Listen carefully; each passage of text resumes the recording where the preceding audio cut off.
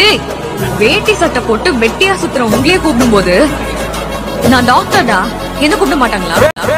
நாங்க அடிச்சாதாண்டி உனக்கு பேசன்ட்டு புரியுதா? நான் வருவேன். வந்தன்னா ஒட்டுமொத்த பேரையும் அடிச்சு விட்டு போயிட்டே இருக்கும்